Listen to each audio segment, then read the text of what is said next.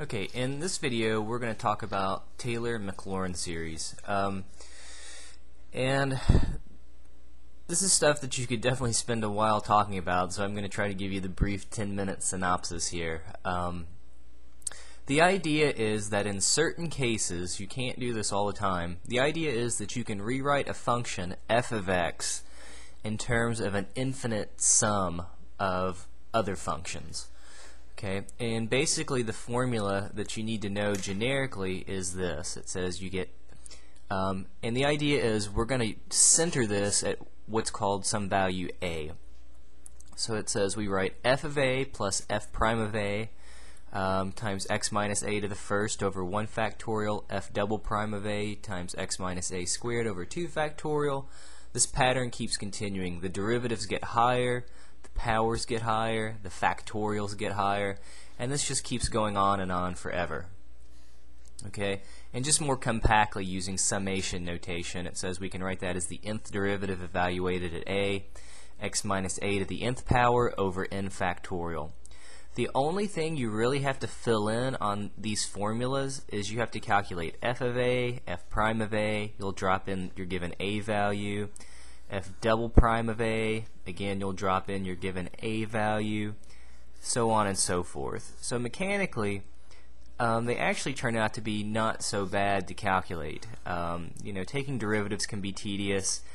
Sometimes they want you to rewrite it in the summation notation, um, that can also be tedious. But the basic idea isn't really too bad at all. It, it's one of these things that seems like uh, it feels worse than it actually is. So let's uh, let's do a problem. So a Maclaurin series, so we're going to find what's called the Maclaurin series for f of x equals e to the 5x. Um, and a Maclaurin series means that you're centering this at the value of a equals 0. Alright, so in the other problem, it said we basically needed to start calculating derivatives and plugging in this value. So I'm just going to make a little table of um, derivatives. So the first derivative, I'll get e to the 5x times 5, or 5e to the 5x. The second derivative, I'm going to get, well, another, I'll get 5e to the 5x times 5. You could write that as 25. One thing I always recommend is not to multiply things out, because you'll see the pattern better that way. So I can write this as 5 squared, e to the 5x, the third derivative, I'm going to get, well, 5 cubed e to the 5x. And in general, my nth derivative, after I've done some arbitrary number, I'll have, well, 5 to the n times e to the 5x.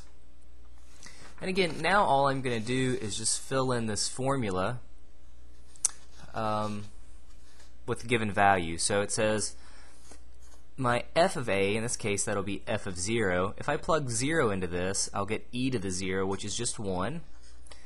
f prime of 0, I'll get, well, 5 times e to the 0, or just 5.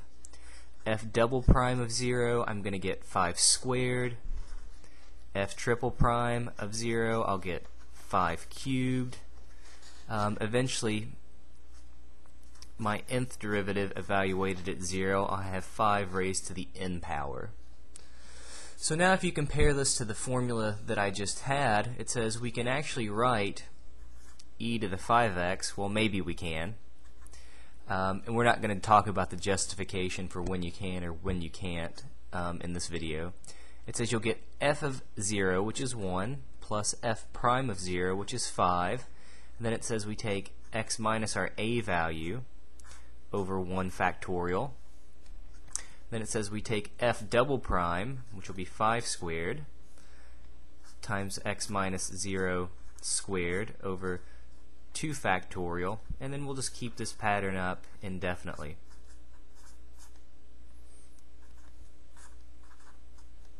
Okay, and this just keeps going and keeps going and keeps going. So you could actually rewrite this a little more compactly um, it looks to me like n equals 0 to infinity. Um, we'll have the nth derivative, which is going to be um, just 5 to the n. And then it looks like we simply have x to the nth power over n factorial. Notice if you plug in n equals 0, you'll get 5 to the 0, x to the 0. 0 factorial is defined to be 1, so we will get 1. If you plug in n equals 1, we'll get our first term. If you plug in n equals 2, you'll get our second term. If you plug in n equals 3, you'll get our third term, so on and so forth. So now this is um, all considered a Maclaurin series expansion for the function e to the 5x. Okay, This is usually what they'll want to see, kind of a more compact way of uh, writing it. And then the, the problem could say find the radius of convergence or the interval of convergence, and we would simply do the ratio test on this. So if you're not sure about that, I talk about the ratio test and finding um, intervals of convergence rather for power series and you could do all that stuff on this one. So I'm going to do another example, a more complicated example involving uh, the natural logarithm um, of x and this time it's going to be centered at a equals 2.